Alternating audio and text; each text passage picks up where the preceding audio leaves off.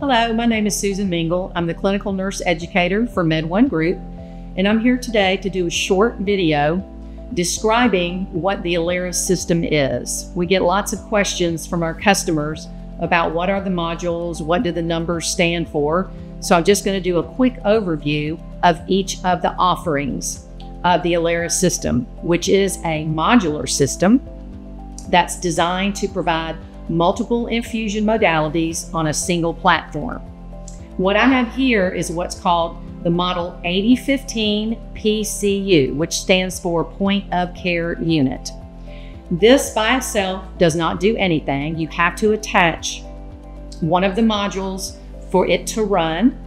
It can hold a maximum of four modules per PCU. It does have the Guardrails drug library loaded in it, and it can be used anywhere in the hospital where an IV is needed. For example, neonates, pediatrics, oncology, ICU.